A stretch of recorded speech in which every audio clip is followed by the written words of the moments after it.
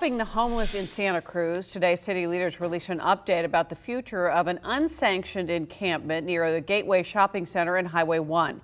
Action News reporter Phil Gomez joins us live from Santa Cruz with more on what's being done to help the people in that area that really have no other place to go. Phil? Well, Aaron, the Gateway campsite off of Highway 1 near River Street uh, right behind is located right behind the Ross store is home to more than 100 people. While city leaders are trying to figure out a solution, outreach workers spent the day providing health care for those in need.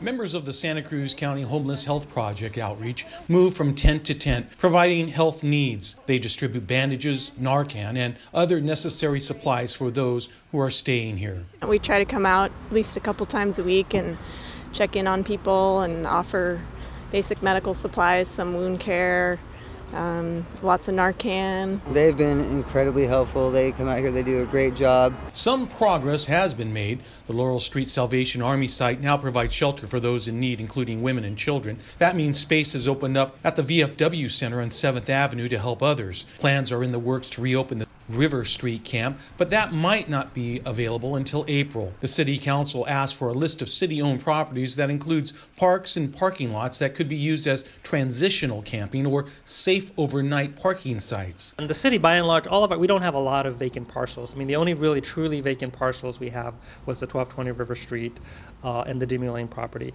But otherwise, they tend to be parks or parking lots. So when the council looks at options, that is the range of options. But even if the city opens another transitional camp, not everyone will choose to stay there. This many people this close together, you know, theft becomes a problem. Um, people are kind of on top of each other, which leads to fights, arguments, and, and uh, I just, for me personally, I just, I'd rather be somewhere by myself. At this point, the city hasn't chosen any of the city locations for transitional or safe overnight parking. Dan and Aaron. Phil, thank you. The Santa Cruz City Council is scheduled to take up this issue at its Tuesday meeting, which is scheduled to begin at 7 in the evening.